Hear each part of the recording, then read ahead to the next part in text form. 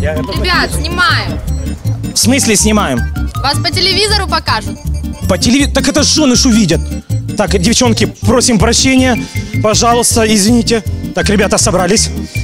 Сборная женатых Украины, город Кировоград, приветствует вас.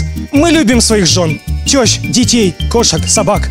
Возьмите нас в сезон, пожалуйста, мы к вам приедем еще. Да, девчонки?